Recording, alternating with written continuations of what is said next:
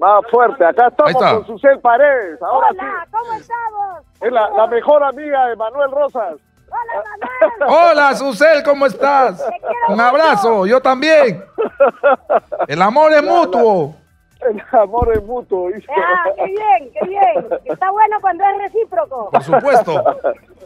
Escúchame, estamos acá en la Plaza Mancocapa, que en unos minutitos va a estar con nosotros George Forsyth, que ha estado bravo también, ¿no? Sí, estaba, pues era lo que el momento exigía, tener fuerza para enfrentar esos momentos de crisis.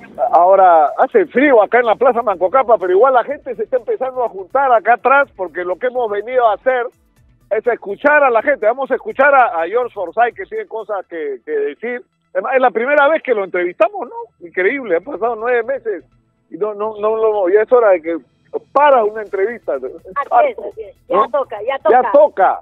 Pero vamos, como decía, a escuchar a la gente, lo que la gente tenga que decir, lo que le preocupa a la gente, lo que la gente piensa de la situación política que estamos viviendo, el, el- el- el tipo de congresistas que, porque estamos hartos de los congresistas que se acaban de ir, pero necesitamos mejores, ¿no es cierto, Susel? Claro, gente desprendida que ame al país y que quiera trabajar y, servir al país. quiera trabajar y servir al país desde el, el Congreso, ¿no?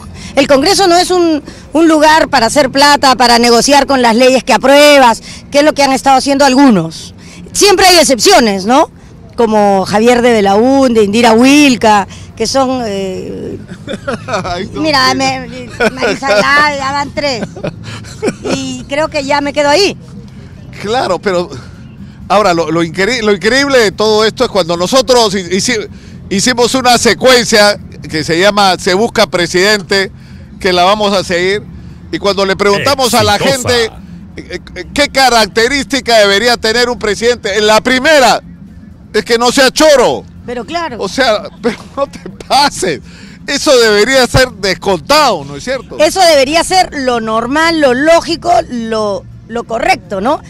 Pero no es así, pues. Hay gente que entra, como esta congresista que se le salió del inconsciente, estoy aquí por mi plata. plata. Ah, Con mi su- pla- Con mi plata estoy acá. Imagínate. Y ven acá que me trompeo. con- Sí, nos vemos afuera, ponte la falda. Y me, me, me ganó, me ganó, la tía me ganó. Más achorada. Más que- chorada que yo, imagínate, pues. Pero es que así es, ¿no es cierto? Esa expresión, estoy aquí por mi plata, es Oye, verdad. ¿y Susel se La presentará al señora invirtió su billete para estar en la lista. Ahora todo se entiende. Todo Nicolás. se entiende porque esa lista es, es de esa calidad, porque la gente entró por quien ponía más plata para la campaña. Entonces se entiende por qué esa bancada, la bancada mayoritaria, es de esa calidad. O sea, tú tienes plata, aunque seas un burro, puedes entrar.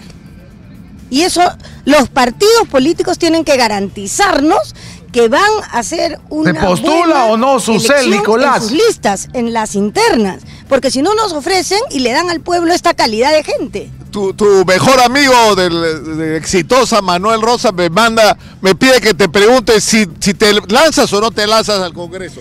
Bueno, ahora estoy ocupada en la victoria, pero es una decisión complicada porque es un año, pero es un año decisivo, porque es el año en que se va a elegir al tribunal. Eso, eso lo estoy pensando. Siempre, siempre lo pienso, o sea, paro pensando todo el tiempo. Ya, pues, pero no me conteste como contéstalo. Si el pueblo me lo pide y no sé. No, no, yo estoy analizando esa posibilidad, porque efectivamente es un año, pero es un año donde van a elegirse y va a orde- reordenarse el país. Entonces, esa responsabilidad tiene que tener la gente probadamente honrada y capaz. No solamente ser honrada, porque vas a tener que resolver problemas graves. O sea, re- eh, elegir a los sucesores del Tribunal Constitucional. Es una tarea delicadísima. Y así muchas cosas más. Entonces, hay que pensarlo, pues sí, hay que pensarlo. O mejor dicho, ya, lo estoy pensando. eso está bien, eso es sinceridad, eso me gusta. Ahora, eh, eh, yo te debo confesar, eh. Susel, que, que, por ejemplo yo estoy haciendo una campaña para Manuel Rosa Loreto 2000, Oye, ¿qué? 2020. Este está Me loco. parece muy bien, tiene el carácter, la energía y el echoramiento Oye, necesario. no me para eches hacerlo. así, no seas loco. No hay forma, hermano. No sea loco, me dice. Pero, No- pero no hay serio. forma. Es- es No que- hay forma. Es que Manuel, tú no le puedes decir a la gente, métanse en política. Y él no quiere. Y él no quiere. No te pases. No, no, Susel, no. convéncelo, Susel. A ver, Manuel, yo creo que Y tú nos eres la vamos persona juntos. indicada por tu Y no- valor, tu decisión, y nos la sentamos de pegaditos. ideas, Yo la me voy si- facilidad si- para conectar Nicolás. con el pueblo. ¿Qué más? Nicolás. ¿Qué más? Dice que se sienta al lado tuyo. Si, si me, si No, me aseguras una curula al lado tuyo, me voy. Para estar juntito. sentarse al costado nuestro. No sé si a la diestra o a la siniestra, pero ahí, a juntos. Adelante, Nicolás. Te estamos escuchando, por Está- favor. Dice que Manuel que está evaluando si se sienta a la, a la diestra o a la siniestra. Yo creo que él va más bien por la diestra. la siniestra soy yo. Ahora, lo que, lo que sí es cierto, lo que sí es cierto es que esta es una extraordinaria oportunidad de renovación, ¿no es cierto? Porque no me digan, no me digan que no hay mejor gente en el Perú. No me digan. Por supuesto que hay. Ya, vamos a hablar de un caso concreto. No es posible ni es verdad que el APRA solo tenga a esas personas para que postulen a un cargo público. Hay un montón de jóvenes decentes y sanos en el APRA que pueden ir, porque son los mismos. Por su plata, pues, hermano. Plata. O sea, está, la, la tía nos ha dado la clave. Ahora, ahí tenemos una responsabilidad los medios, ¿ah? Claro. Porque si nosotros no ponemos eh, en, en la cancha a nueva gente, nunca va a haber nueva gente. Así o sea, es. eh, nosotros le damos vueltas y vueltas a lo iba, iba a decir pelotudo, mejor no lo digo. A los mismos pelotudos Claro. los hace 30 años. No puede Nosotros- ser. Ustedes pueden invitar a gente nueva, gente joven nueva y gente no joven pero nueva.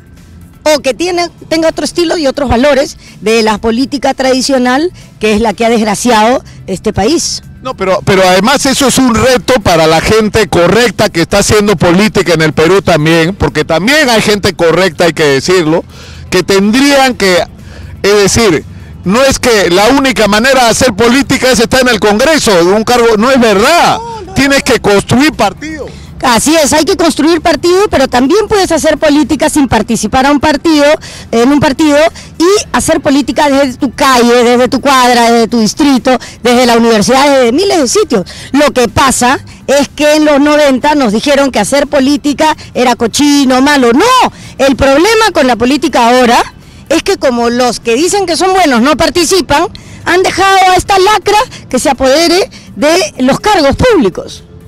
¿Y, y cuál es tu partido? Me, me gusta tu discurso, Susel. ¿Cuál es, ¿Cuál es tu partido? En este momento soy una chica soltera. El único fichaje me lo ha hecho el distrito blanquiazul. Así es que tengo esta camiseta en este momento.